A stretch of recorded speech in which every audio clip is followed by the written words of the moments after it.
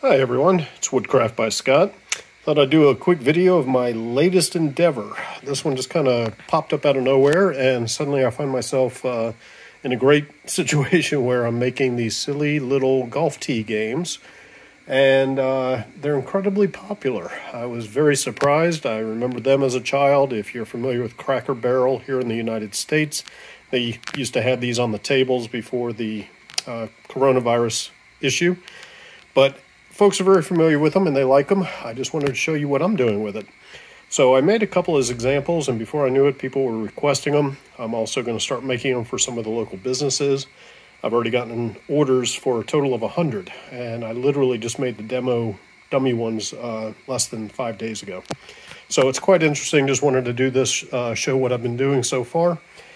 Basically, I'm going to use poplar just like I do for my puzzles, but I'm using a six inch wide or five and a half inch wide board.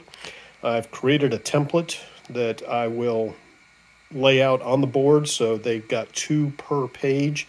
Imagine 10 of those running the full length, and I can get exactly 21 puzzles on each board. And this is a six foot wide, six foot long board. I then cut them using a miter saw and what I end up with is stack here, and they are individual. So I do have right here 42 individuals. I just cut two boards and decided to do this video. The next process, of course, is drilling the holes, 15 holes each.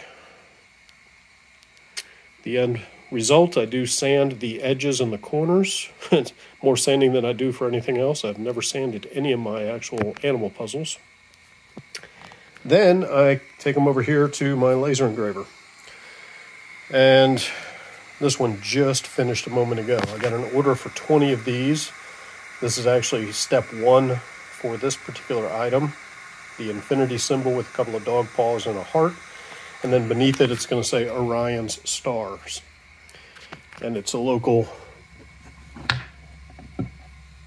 animal shelter that helps out uh, older animals and gets them healthy if at all possible. So after the laser engraving, it's a matter of just putting in the golf tees.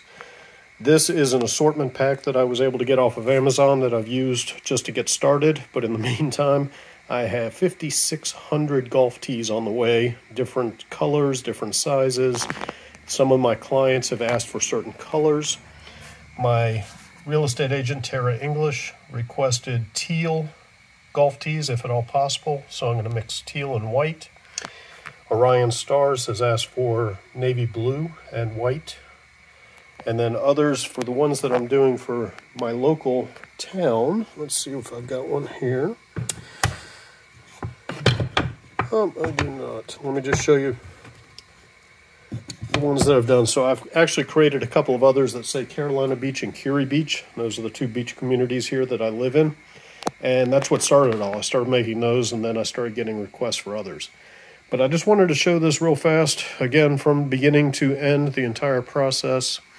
Minimal effort, quite honestly. Cutting the triangles takes just a matter of a few seconds each. Drilling takes maybe 30 seconds to a minute per but it's the laser engraving that takes the longest in that the more complex the image, the longer it takes. But I have uh, gotten my wife to actually take over the laser engraving. So now I've got a helper.